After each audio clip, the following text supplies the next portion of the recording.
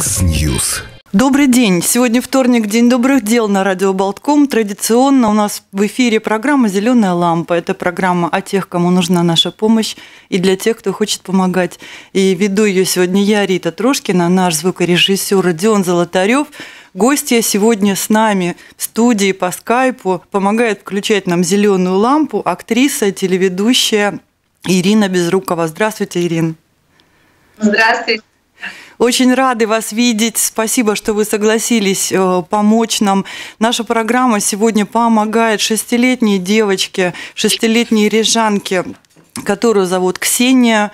А, она, э, там такая проблема, что девочка не слышит с рождения, да, она глухая с рождения, и поэтому она не может говорить. Две, две операции перенес этот ребенок уже в два с половиной года и в четыре в два года и в четыре с половиной э, две тяжелых операции, ей были вшиты импланты, и звуки она стала слышать, но речь у нее так и не развита. То есть она очень хочет говорить, это чудесный ребенок, такая худенькая, кудрявая, э, с огромными глазами, которые с большим любопытством смотрят на мир. И, в принципе, у нее есть э, потенциал для того, чтобы она могла говорить, потому что мама была с ней на обследовании в Питерском институте специализированном лор НИИ.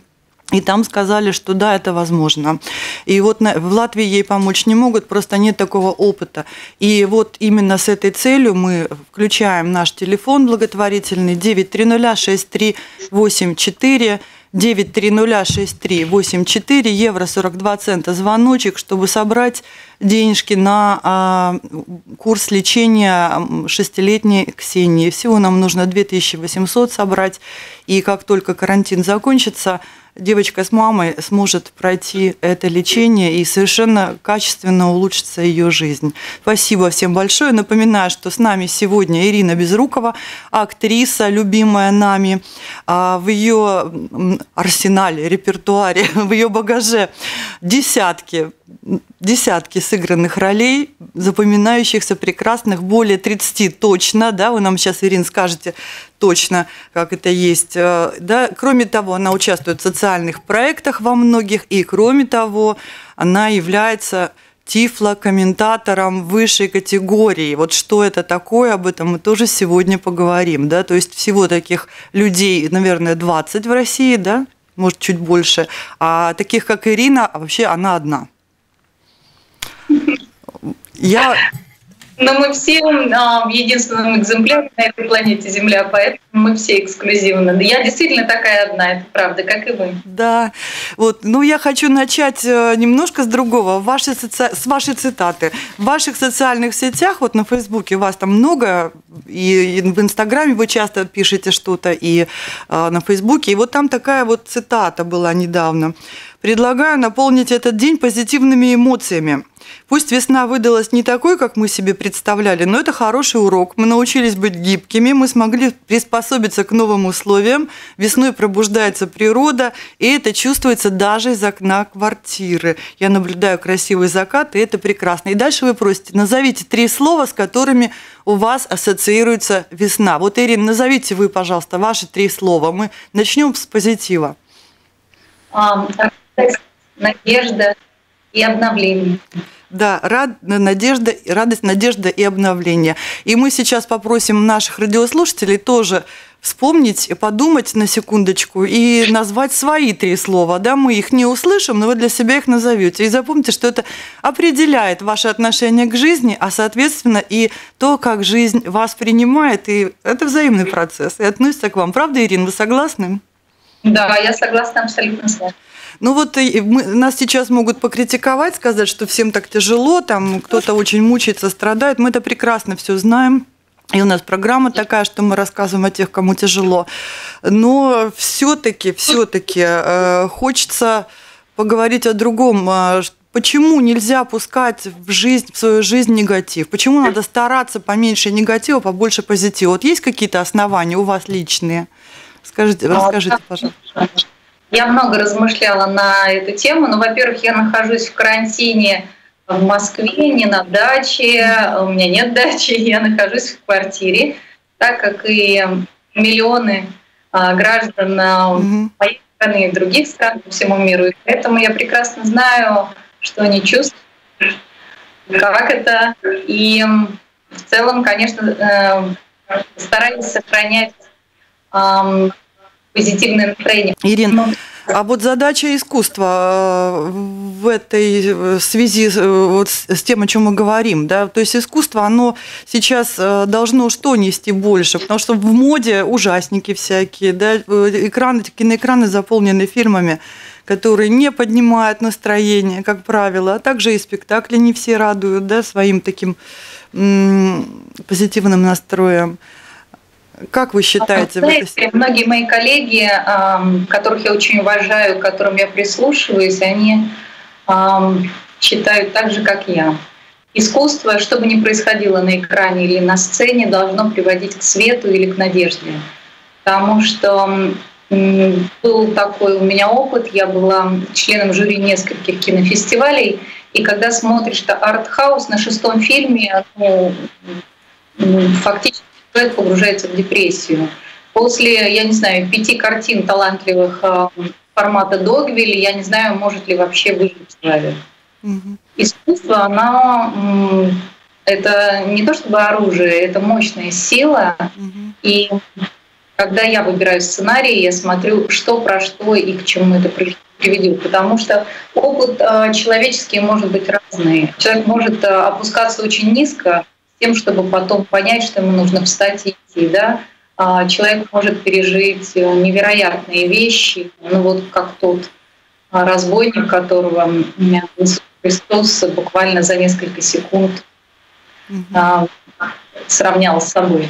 Дело в том, что главное принять решение не поступать так, как мне нравится, так, как это неправильно, так, как это разрушающе для других, и просто, просто отказаться от этого. Я считаю, что искусство, оно способно исцелять, потому что, к примеру, мы с друзьями обмениваемся фильмами. А, я пересмотрела очень много воодушевляющих картин за это время. Вчера я посмотрела старый фильм «Ангел Майкл» с Траволтой в главной роли, наверное, многие его видели. Прекрасное, доброе кино. И в целом я начала с картины картины о Бенине угу. «Жизнь прекрасна». Угу.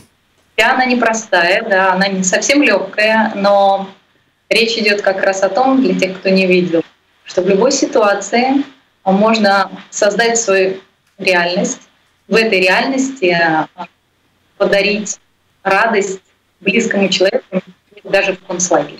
Угу. Это казалось невозможно, но это невероятно трогательная, очень сильная картина, и я люблю такое кино. Ну вот есть, э, спасибо вам за этот рассказ, есть такие трагические произведения, картины книги, которые, в которых вроде бы тяжелые сюжеты, а, ну как сказать, э, можешь смотреть вниз, а можешь смотреть вверх. И вот когда тебя заставляет это произведение вверх глаза поднять, это уже вот, конечно, совершенно другое дело, совершенно другое влияние. Вот прежде чем э, спросить, задать вам вопрос о тифлокомментировании, я хочу э, попросить вас один фильм ваш вспомнить немножко, потому что сегодня мы рассказываем о девочке, которая не слышит с рождения. Это, конечно, трагедия для родителей, и почему это произошло, ну, никто не может сказать. Э, у нее, да, импланты вживленные сначала не давали никакого результата, потому что там нерв поврежден слуховой. Э, ну вот после второй операции она стала слышать громкие звуки, а речь еще не развита. То есть это все так связано. У вас был, да, мы просим, э, наш телефон включен для шестилетней Ксении, чтобы помочь ей начать разговаривать. Телефон 9306384. Я буду периодически его напоминать. А, прошу вас вспомнить фильм, в котором вы снимались, по-моему, называется «Балерина». Да. Да, там как раз у вас по сюжету э, вы играли э, хореографа, преподавателя, да? хореографического да. училища. Картина э, в рабочем варианте называлась «Балерина». Она получила гран-при Казахстана короткого метра в Астане. И был потрясающий конкурс под названием «Позитив». Десять молодых, совершенно малоопытных режиссеров дебютантов снимали короткий метр. И а, меня пригласили в Астану, сейчас этот город называется Нур-Султан, угу. для того, чтобы я сыграла в этом фильме.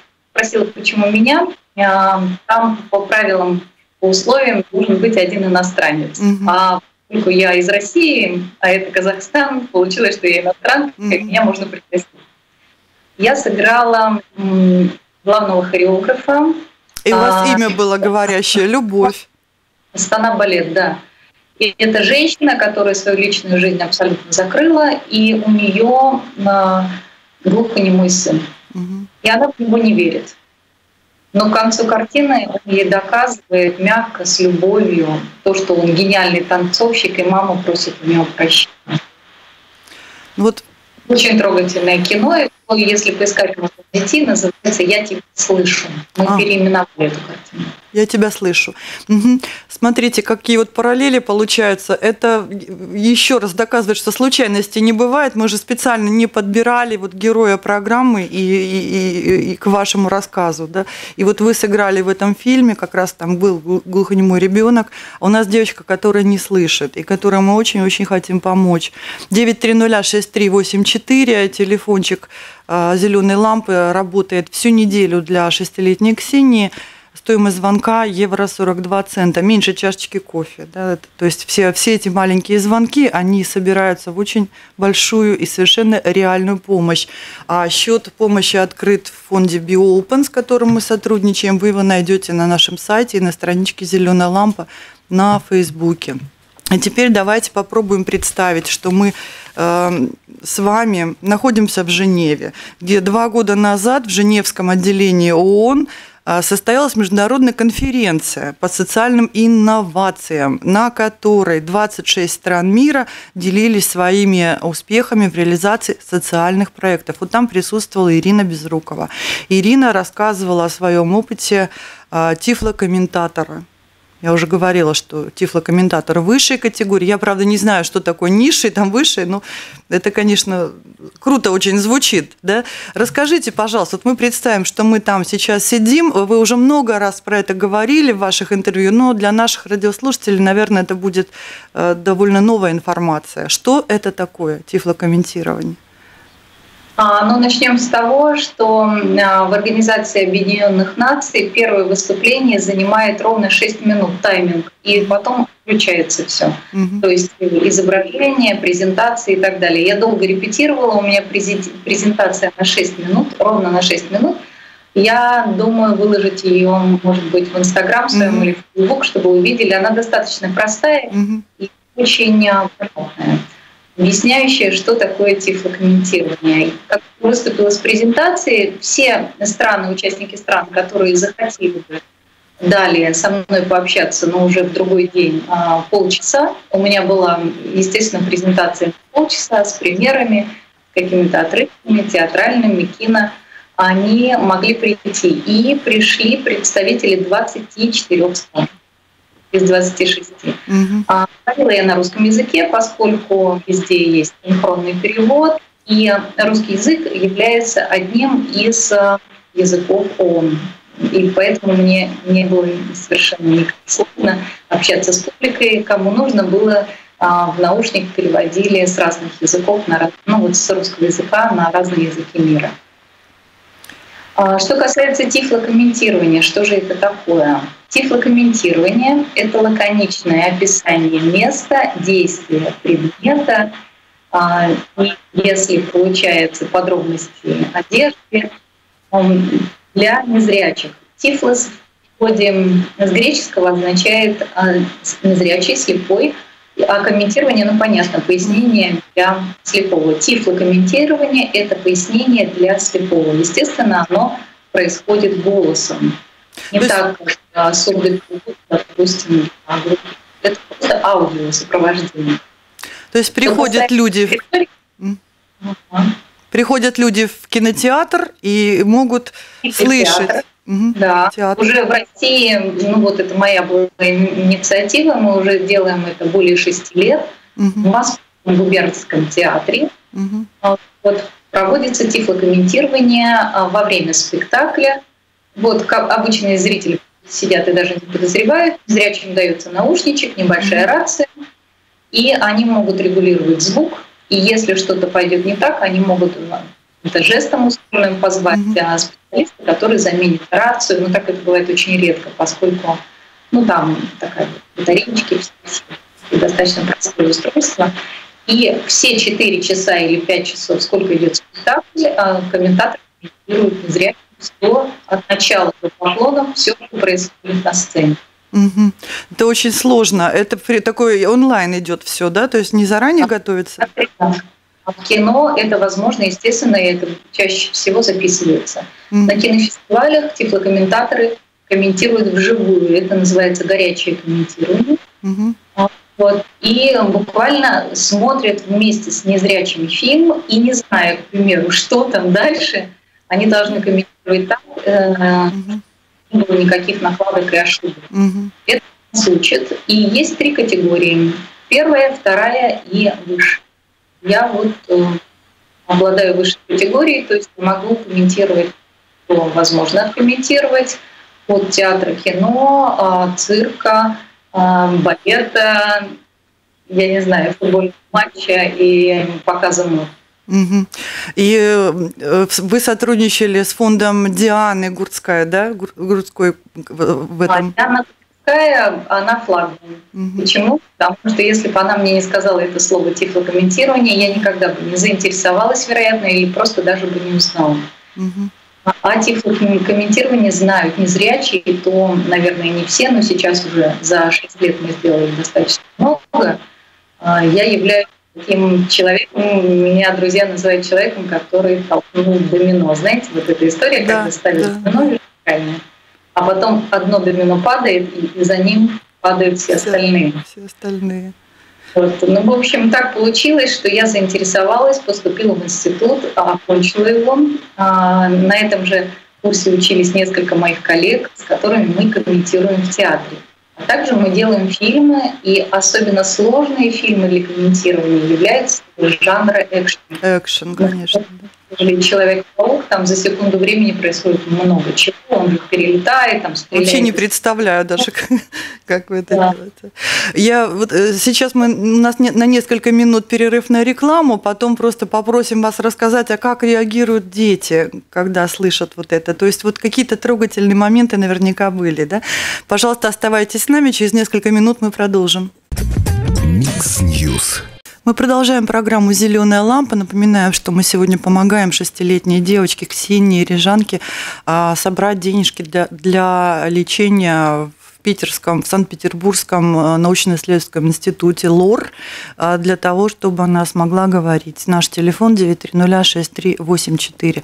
А, и напоминаю, что у нас в гостях сегодня по скайпу с нами вместе актриса Ирина Безрукова. Мы в первой части говорили о тифлокомментировании, о том, что это такое, и попросили Ирину вспомнить какие-то трогательные моменты, как дети на это реагируют.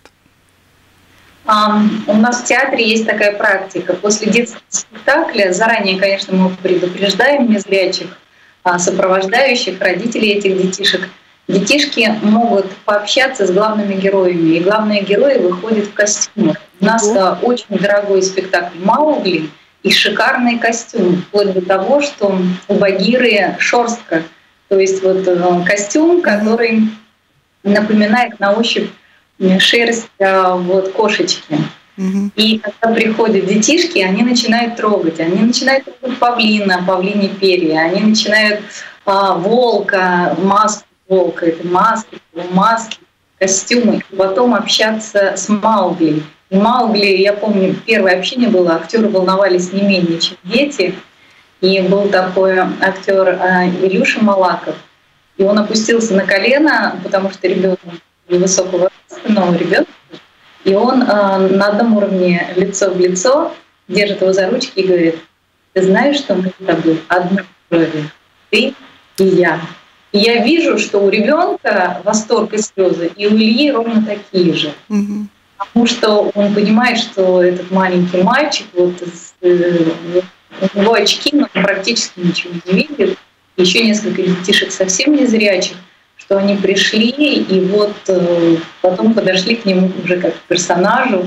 И со временем, конечно, они были уверены, стали общаться актеры и очень любят это все. Несмотря на то, что они очень устают от спектакля, они играют несколько спектаклей в день иногда. Они всегда выходят, всегда фотографируются. И, кстати, незрячие, в том числе и детки, очень любят фотографироваться. их а, мама зовет, они на голос поворачиваются, улыбаются, позируют и фотографируются вот со всеми участниками. Вот вы сейчас очень важную вещь сформулировали о том, что милосердие, благотворительность, вот какие-то хорошие дела, они приносят радость тому, кто это делает. Да? Вот, вот абсолютно такую настоящую радость.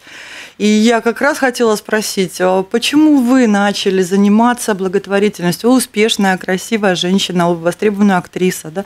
Почему вдруг вот вас в эту сторону повернуло, и вы стали отдавать свое время тем, кому трудно? Скажем? Ну, на самом деле у меня очень не совсем простая, скажем так, жизнь, и с детства я никогда не жила в достатке или в роскоши. И я ценила все то, что делали для меня родственники, мне передавали какие-то вещи от выросших, там, я не знаю, моих родственников, мне что-то дарили, и вот каждая вот эта, может быть, большая и не очень дорогая вещь, которую мне дарили, она для меня была очень ценна. А меня воспитывала и сестра бабушка. Бабушка была очень пожилая. И понятное дело, что у нас никогда не было ничего лишнего, иногда даже необходимого. И я так понимаю, что вот это красивое и большое слово благотворительность, оно звучит очень несколько торжественно. Да. Угу. да, торжественно, но слово помощь и милосердие, угу. мне кажется, любая девочка, которая видит качество грязного, там, не знаю, блохастого, в углу, в тайне от родителей, пытается его отмыть, накормить и спрятать под кровать, но он, естественно, выбегает в неподходящий момент. Э, это уже благотворитель. Mm-hmm. Просто это идет от сердца, когда есть такой посыл. И в целом, когда что-то делаешь для работы и видишь, что это помогло, а, ты испытываешь вот невероятное чувство такой вот радости. И кто-то сказал, что Благотворитель — это человек с повышенной степенью эгоцентризма, угу. потому что получает удовольствие. Ну, наверное, да. В чем-то это правда. Да, и вот э, это не какая-то купленная вещь, даже очень дорогая, которая ну, через полгода, через год вообще уже не приносит радости.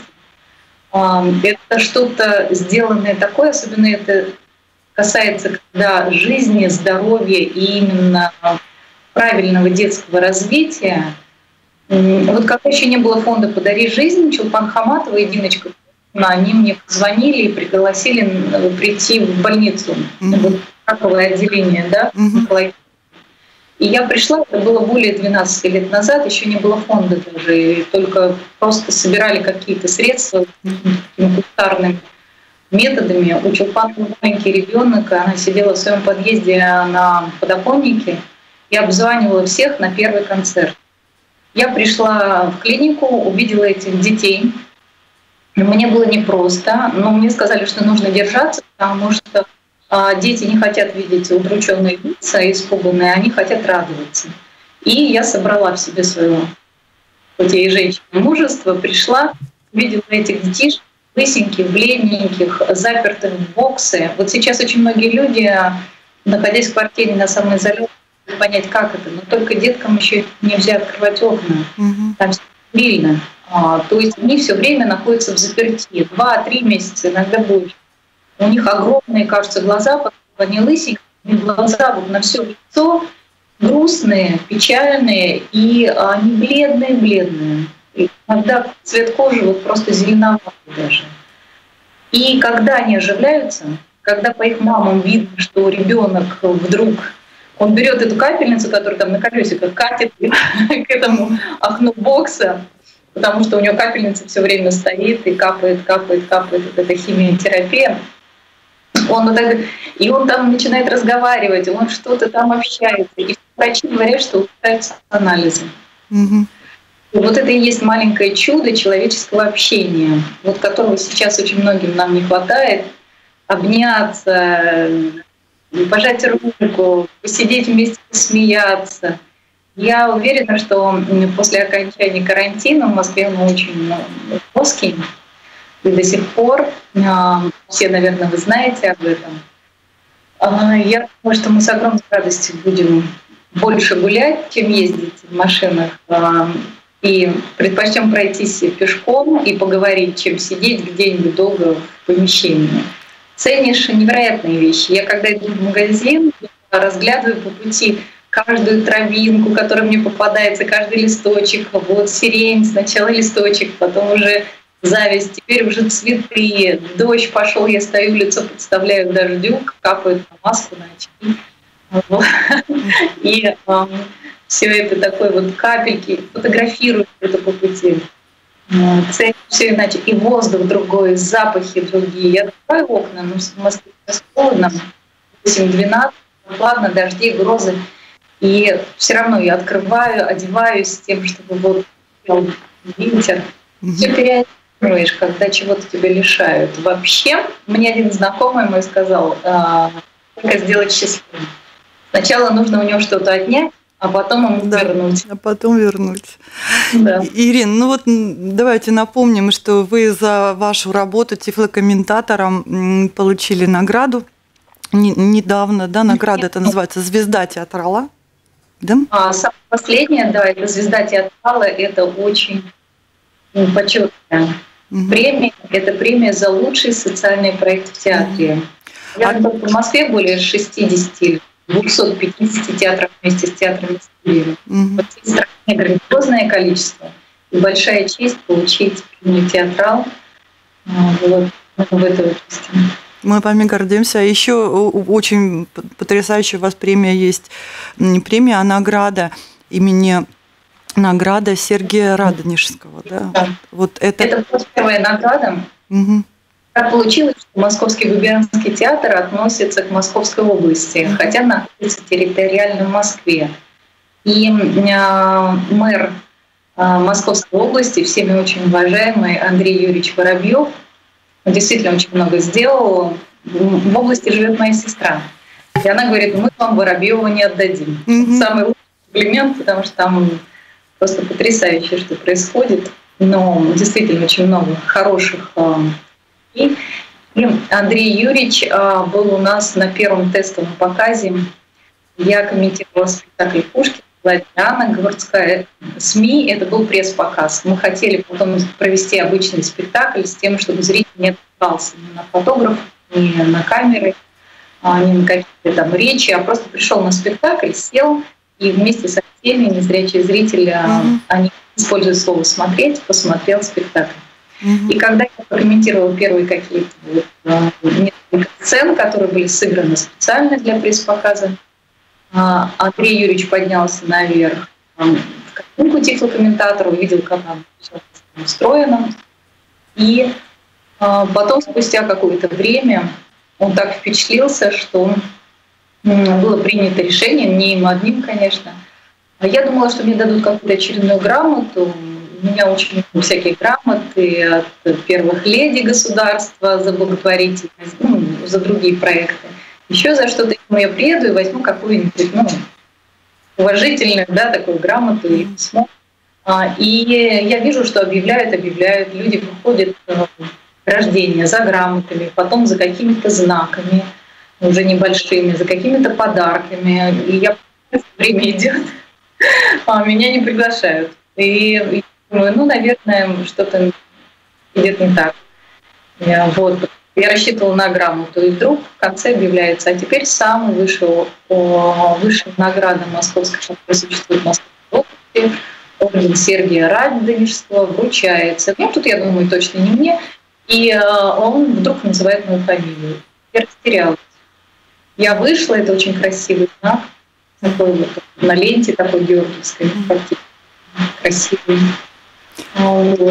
Ну, это дорогого стоит. А, Ири... Да, потому что признание, оно очень важно. Это как даже инфоповод для того, чтобы рассказать еще раз об этом. Угу. Что многие-многие мои коллеги и незрячие, и журналисты знают эти комментирования именно от меня. Угу. Получилось, что очень многие люди хотели что-то стронуть, э, что-то сделать, но они не были так медийны. И вот есть узнаваемости – когда тебя узнают, ты можешь донести что-то до людей. И это тоже радует, потому что, к примеру, у меня нет больших денег, да, кому-то помогать регулярно или много, или, не знаю, помочь половине планеты, но я могу своей популярностью, как под пример, привлечь внимание, да.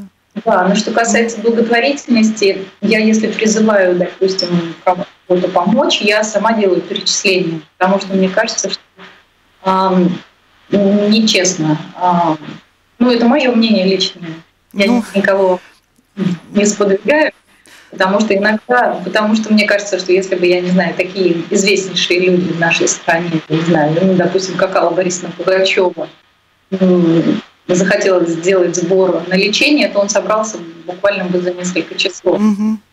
Достаточно популярно. Но есть же, комментируют, да, и в Инстаграм, и в Фейсбук, а, люди, есть люди, которые никогда не помогут, но да, есть такая категория людей, поскольку они не верят в то, что это возможно. То есть, что деньги пойдут туда, куда надо. Я понимаю, мы тоже несколько раз время обжигались, но теперь мы знаем, как перечислять, как проверять информацию. И мошенникам мы не помогаем, естественно. Есть люди, которые просто приходят и говорят, а сама ты сама.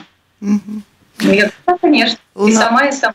И фонд и жизнь регулярно присылает мне письма с благодарностью за помощь тому или тому ребенку.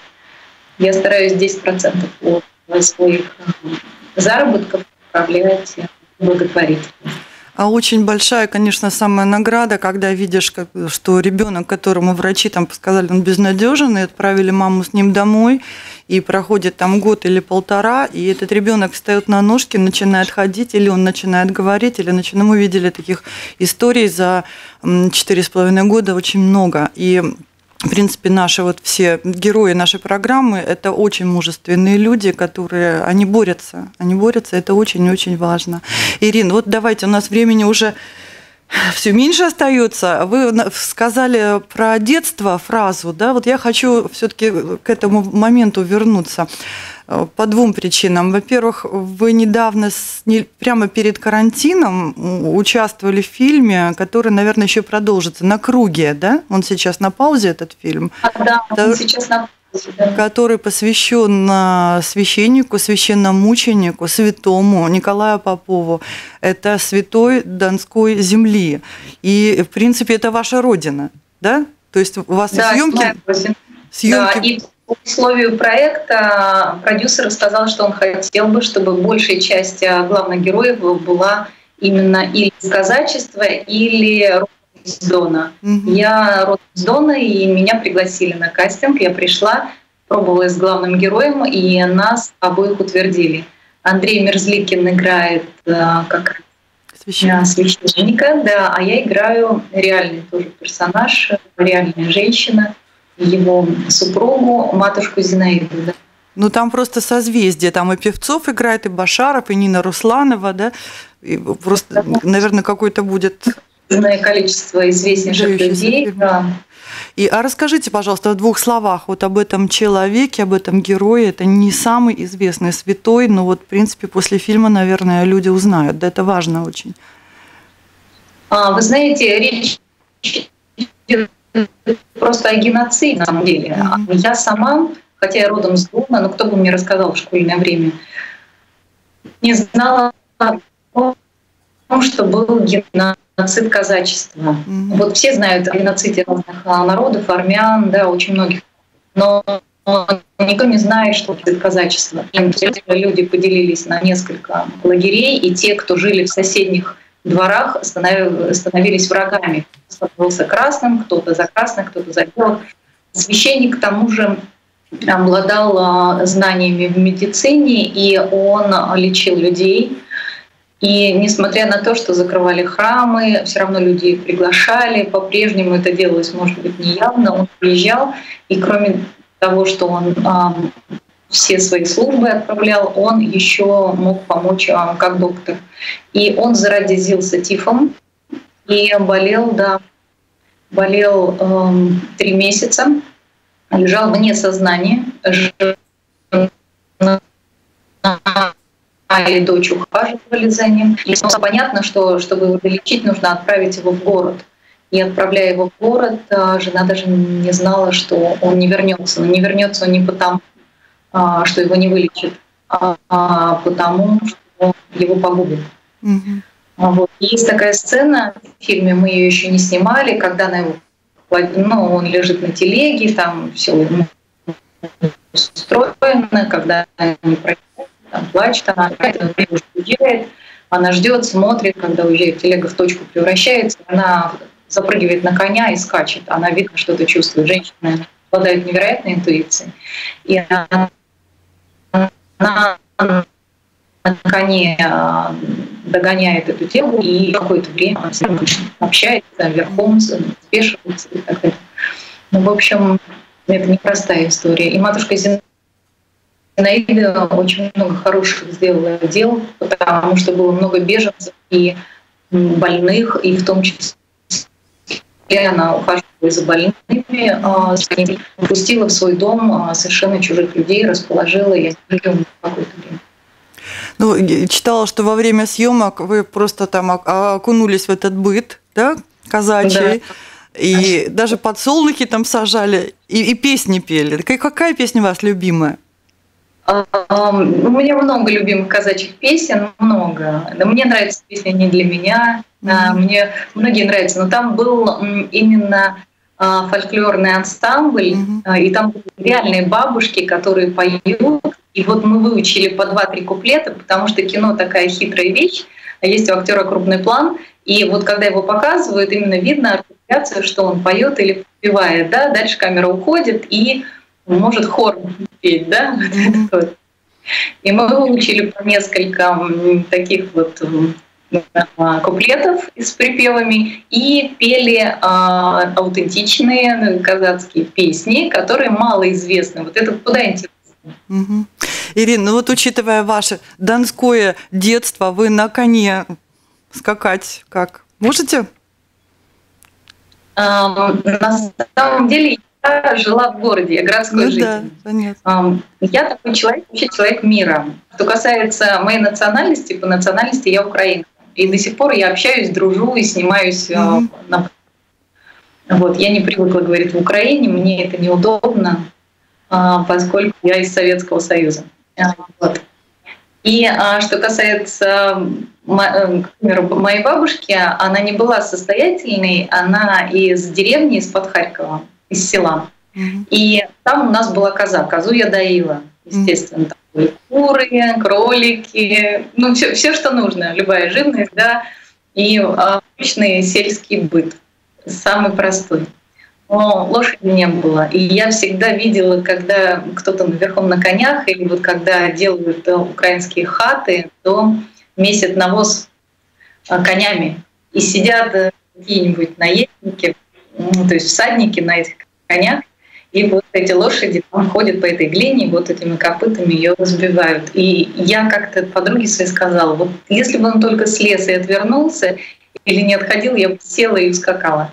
Но ну, повезло, у меня такая профессия. Я научилась ездить верхом для картин на графине де Монсоро. Де Монсоро, да. А, да, и несколько раз э, повторяла вот эти вот всяческие угу. поездки и хотел бы, конечно, к этому вернуться.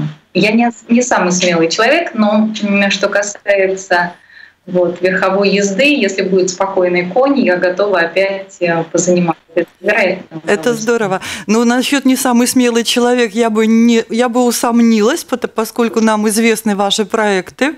Э, Форт Боярд, да, вот этот знаменитый, где там чего только не было, что у нас... Да. Потом последний, последний герой шоу, да, где вы участвовали, что у нас зависла связь. Вот. Перезвонить, может быть? Я вас а, вижу прекрасно. Видите, а у нас немножко завезу. Вот. И да, вот этот вот последний герой, когда вы участвовали, актеры против экстрасенсов, да, и вы похудели на 8 килограмм, там, да, мы, нам известно, питались там горсточкой риса. Что самое трудное было? Это очень смело вот так поехать на остров, остаться там. Одно из самых сложных было отважиться. Директор мой разговаривал со мной несколько раз. Угу. Я как говорила, я не спортивная, я э, старше всех, кого хотят взять в этот проект. Я не уверена, что я могу быть там полезна, я не уверена, что я справлюсь. Я действительно отдавала себе отчет, посмотрев предыдущие проекты, как это непросто. Я смотрела американские проекты, израильские, с тем, чтобы какие-то, как говорят сейчас, лайфхаки, которые мне очень пригодились. Но говорив э, с Настей Задорожной, она участвовала в подобном проекте, и э, с Аленой Свиридовой, они мне рассказали все хитрости и сказали, ты знаешь, этот опыт невозможно получить нигде и никогда, только там, на этом проекте. И я согласилась. Самое сложное, наверное, это была первая ночь и первое утро, когда ты спишь на пляже на песке, вечером холодно и ночью прохладненько достаточно. Просыпаешься весь в росе, и первое, кого ты видишь, это оператор и его камера. Закрываешь глаза, есть такой измотанный, уставший. Первый день очень тяжело нам всем дался. Мы вымокли, мы плыли к этому острову, мы не успели развести костер у нас не получилось, наступила глубокая ночь, и темень страшная. И мы просто попали, что называется, спать. И первый, мы увидели, вот, вот хорошо тебе, плохо тебе, а, тяжело тебе, выбиваешься ты из сил, э, жара плюс 50 на солнце, а ты два часа или четыре соревнуешься в, этой, в этой ситуации. Я думала, что просто это невозможно и физически, и, и когда эмоции у людей вдруг нервная система не выдерживает, но самое сложное это находиться в каком-то внутреннем эмоциональном балансе. Ну, на 90% мне это удалось. Я считаю, я считаю, может быть, более чем многим другим даже. Потому что я понимала, как всем сложно, и давала большую скидку людям на то, что им надо куда-то это, ну, они не могут в себе это держать. По отношению ко мне не было никогда никаких приятных моментов. Наоборот, а, конкуренты прибегали тихонечко мне жаловаться. А что-то вдруг у них там совсем непросто все. Ну, мы даже читали, что вас э, ангелом называли, да, ваши, ваши коллеги? Они, они мне подарили в конце проекта а, медный браслет. Угу. Такой простенький совершенно, а внутри дело в том, что у наших ребят, у некоторых появились прозвища какие-то, и было выгравировано внутри, гравировочка такая простая совсем, э, как кого кто называл. Угу. Ну, в общем, смешные названия. И я думаю, интересно, а что же там? Я поднимаю этот браслет, смотрю на него, а там написано по-английски «ангел». И я чуть не расплакалась. Да, очень, очень трогательная деталь. Ирина, к сожалению, наша программа уже подошла к концу. Мы благодарим вас за рассказ. Еще очень о многом хотелось бы спросить, но мы надеемся, что мы повторим как-нибудь да, эту беседу, потому Я что вопросов... Я вопросов... всем привет, благодарю Елену Бомбину, супругу Михаила Николаевича Задорнова, за то, что она нас Вот ее лампа тут стоит с нами рядом. Да. Мы да. очень рады вас видеть. Рад любовью отношусь к вашей стране и ко всем ее жителям. Я люблю и часто бываю и в Риге, и в Юрмале, и собираюсь еще поездить, и надеюсь, что со временем мне это удастся. Спасибо вам большое и всем хорошего дня. Э, телефон 9306384 работает всю неделю для шестилетней девочки. И э, желаем вам радости и хорошей весны. Спасибо, Ирина.